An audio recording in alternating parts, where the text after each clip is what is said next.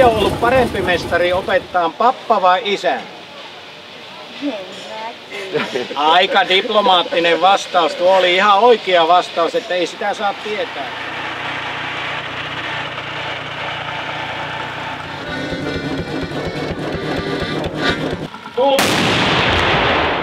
Päivien järjesteleminen on, se on aina mielenkiintoinen prosessi. Se alkaa todella siellä elokuun. 22. valtakunnalliset veteraanikonepäivät järjestetään Törmäntelyn ja perinnekeskuksen Ja yleisö aplodeja. Taktiikka osui kohdalle.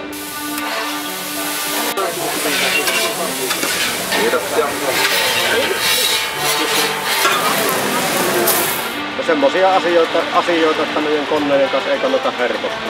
Pelottaako se jossain vaiheessa? Kyllä, tuo ainakin aina. Joka kerta. Joo, pitää lopettaa sitten, kun ei enää pelkää. No joo, tämä oli mielenkiintoista. ja on suurennoksia vanhoista hääkuvista. Siitä erikois, tässä kaikki nämä kankaatkin on, on käsin tehtyjä. Sepistä syntyi paljon tarinoita, jotka kuvasivat heidän erikoista luonnettaan ja ammattitaitoa.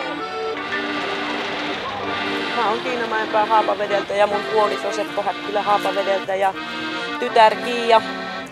Kiia ja me ollaan täällä konepäivillä aina yleensä mahdollisesti se koko kolme päivää. Niillä on vähän suuremmalla kalustolla.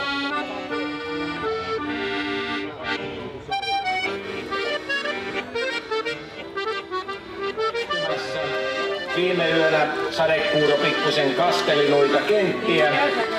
Se oli varmaankin tilattu sade.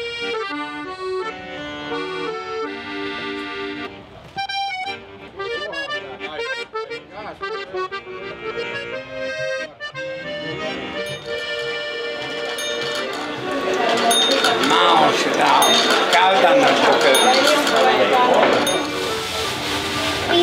Pipi.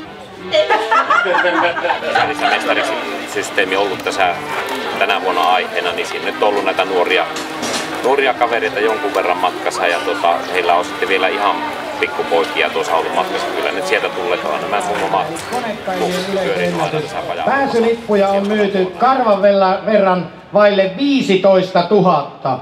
Eli 14 700 ja oliko 78 tai jotain sinne päin.